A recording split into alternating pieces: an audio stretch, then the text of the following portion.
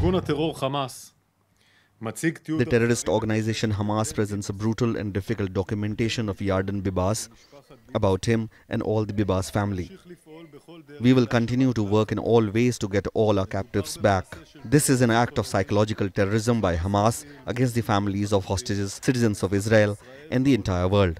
The purpose is to exerting pressure. Hamas claims about Bibas family have not yet been verified. I repeat, they're still not verified.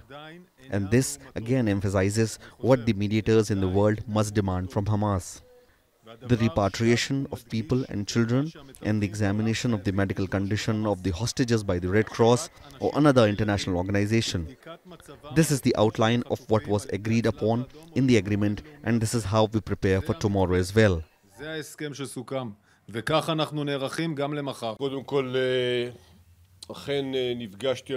First of all, I did meet the members of the Bibas family.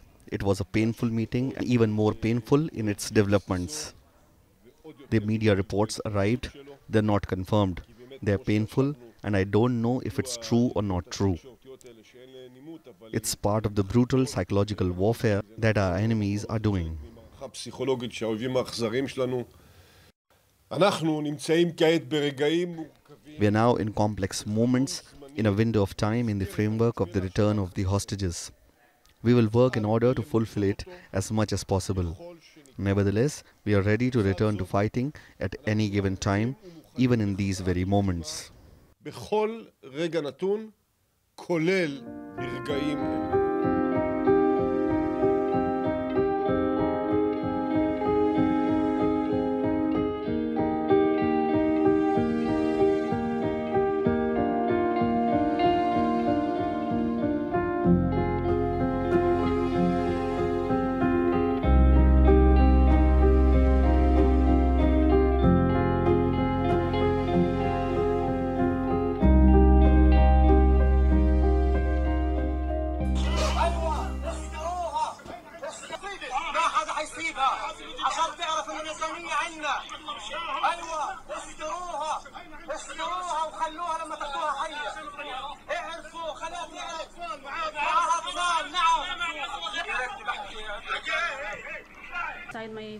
my, fa- uh, my brother's house.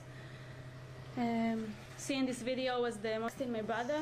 Uh, 6:30, he wrote to me they were going inside the safe room in their house. Uh, he wrote. לא הבנתי, עוד מעט מחכה פה כמו סטוקר כדי שישנו לך ציון מ-92. הוא 24 איש, הוא 24 איש! It's like the Schindler List. We are waiting to see who's gonna be, who's gonna survive, who's, who's not. And unfortunately, we're speaking about uh, my cousin Shiri and the two little kids. That Ariel is only four years old, and Kfir is now about ten and a half months old. He's uh, uh, 15, almost almost 15 percent of his life is in prison. He's not prison, he's, he's in captivity somewhere underground.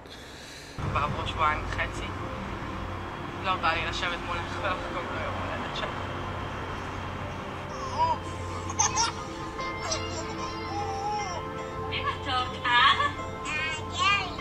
know that they are not in the- on the list of today.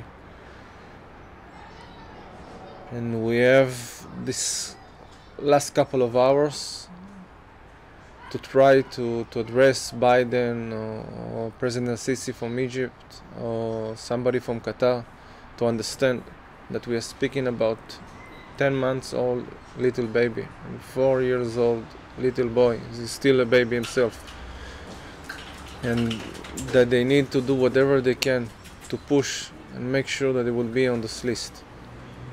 Uh, I, I don't I don't see I don't know where is where when when the the second chance will be.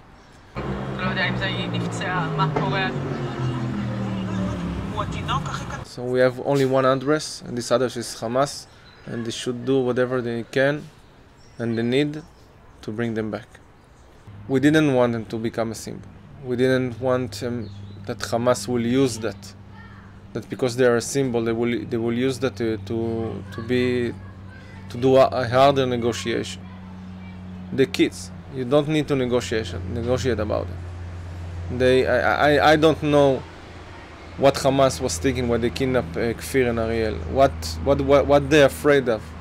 That Ariel, Kfir will attack them? What, what, what, what, did, what did, did they saw when they kidnapped him?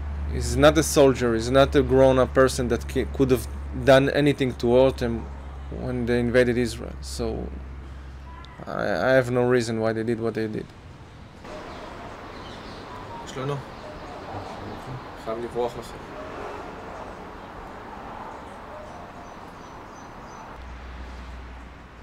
The Red Cross promised to Israel that he will go inside Gaza today or tomorrow. Unfortunately, uh, instead of being a humanitarian organization that needs to uh, take care of all the hostages, is run, running away from responsibility. I don't believe anything that they're saying. They say that they have no uh, contact with Hamas from one end, and in the other end, they're going inside Gaza to treat the injured people of Hamas They say that uh, they have no contact with them, on the other end, they, they go in the evening to release our prisoners. מישהו אחר. ויכל לחסוך לנו את הארבעה, חמישה ימים האלה של ההמתנה אינסופית. There is uh, citizens, not prisoners, citizens, kids, uh, children, babies that didn't do anything, that didn't hurt anybody in their life, that been a in captivity with no terms at all, with no food, without, without, without seeing daylights, without getting medical treatments. And, and for some reason, the the, uh, the Red Cross doesn't say anything. The woman, woman organization doesn't say anything. All the Me Too, the screaming Me Too and everything. Why do, don't you go sc- screaming in Gaza when they rape, raped and killed our, our daughters? They only blaming and judging Israel all the time. למה לא מתקשרת אז ל... לא.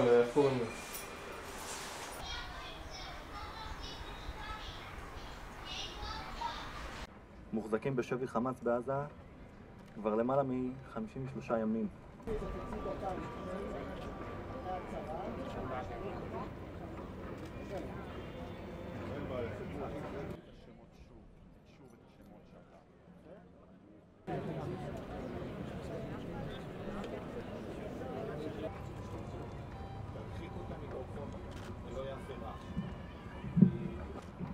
We have all of our family here, but not exactly everyone. We're missing Yarden, Shiri, Ariel, and Kfir.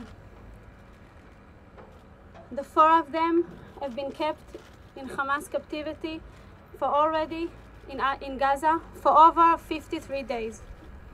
53 days in which we, are, we don't know where they are being held, what is their condition, are they being fed enough, who is taking care of them, are they together, who is holding them, who is, do they have showers, who, who makes them, uh, sorry, who hugs them when they're crying.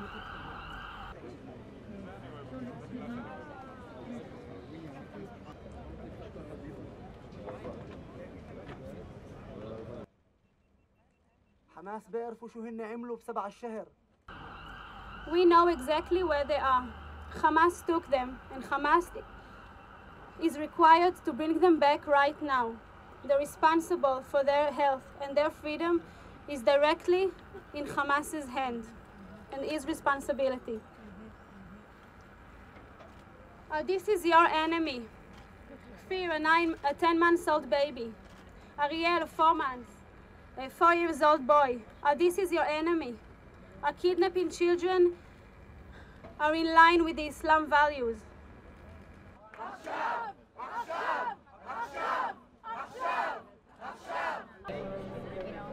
Can you give us a little comment? Our message is to bring everybody home, to bring all the people that were kidnapped home. And when you look at Kfir, which is a 10 month old baby, you need to ask yourself i- is this an enemy of the Hamas? Is this someone that needs to be held captive? He's so young, he's so small, and we want him and all the others, like his brother, Ariel, four years old, and his mother and his father, Shiri and Yarden, want them all back with us.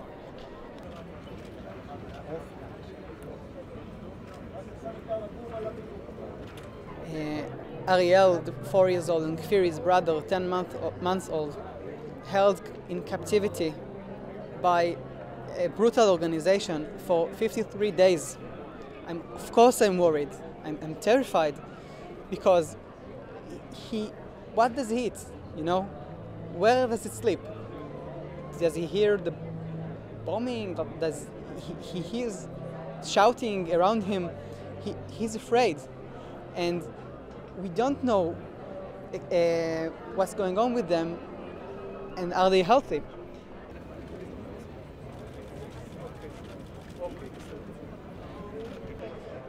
One thing that I think was unique, and it's something that is a, a characteristics of what, what's going on right now in, in the country. I went there on the stage and held the pictures of my families. But together with me, not just my extended family stood there with me. It was a lot of people from all different parts of the country that came here together to stand with us. I don't know them, but they know us. They know the hostages because right now we are all one big family that wants their children back. And this is what this day is about. אני אספור עד שלוש וכולם מוזמנים להפריח את הבלונים. תודה. אחד, שתיים, שלוש. my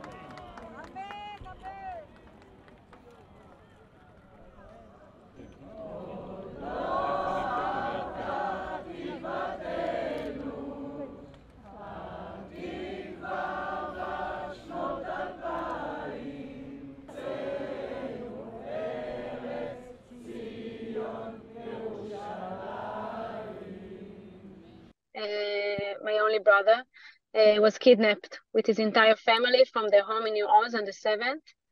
Um, his wife Shiri and two boys. Um, today, uh, not today, the, the reason we are talking to you today is because tomorrow is the last day of the current ceasefire uh, and the current deal that Israeli have uh, for releasing hostages. hostages. Um, and they are still still not be they, they still haven't been released every day there is a danger to their life um, they must be released as soon as possible. Maybe it's part of a psychological war against us i have no idea. Um, it's working really good because the last four days has been completely nightmare for us. This has been 52 days for a baby and a boy in captivity. There is no precedent in modern history for something like this. We we need you to understand that these are not just pictures, okay? This is a real baby there. And remember that we've lost so much already, okay? Their grandparents have been killed, massacred. Their home has been tarnished. So they have so much to to to go through already. The, the, the future is not bright here all we know uh, from what uh, Hamas published um, that um, Yarden was Yarden the father was uh, separated, separated, from the rest. From the rest. Um, in his last chat uh, with uh, Ofri in uh, WhatsApp, he told her that uh, he's going to defend to, to defend them. He, he, was he was holding a, a handgun for self defense, and the photo that was released was Yarden by himself uh, with a cheering mob um, taken violently into Gaza. And the other video that was published was Shiri with her kids. So unfortunately, we do not believe that uh, they are kept together.